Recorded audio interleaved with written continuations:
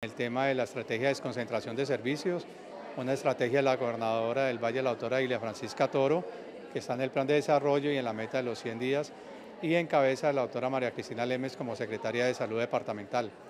Hoy están citados aquí en el hospital de Trujillo, el Hospital Santa Cruz, en su hospital y en su municipio, los usuarios de Insanar, eh, con las especialidades de medicina interna, pediatría, cirugía general y eh.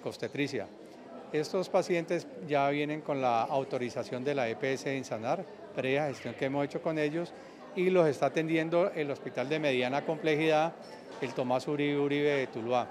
Eh, y agradecemos al Hospital Tomás Uribe Uribe porque es quien ha traído los especialistas para que esta jornada de desconcentración de servicios sea una realidad hoy en el municipio de Trujillo, donde están agendados más de 110 pacientes para estas cuatro especialidades. Además, el asesor mencionó que simultáneamente se realizó una jornada en el Hospital Divino Niño de Buga, donde se han programado más de 200 consultas. En el Hospital Divino Niño, eh, con una agenda de más de 200 pacientes también, en Buga los está atendiendo el Hospital de Mediana Complejidad, el Hospital Departamental Mario Correa Regifo, y también eh, con gran afluencia. Eh, en las jornadas que hemos llevado hasta hoy hemos encontrado que estamos en el 87%, 87 de cumplimiento de agendas de, en, las, en las 14 jornadas que llevamos de desconcentración de servicios, que es un porcentaje muy bueno para la asistencia de los usuarios. Para el resto del mes de julio, la estrategia continuará con el agendamiento en colaboración con la nueva EPS, lo que permitirá aumentar la cantidad de pacientes atendidos. Ya comenzamos el agendamiento con la EPS, nueva EPS,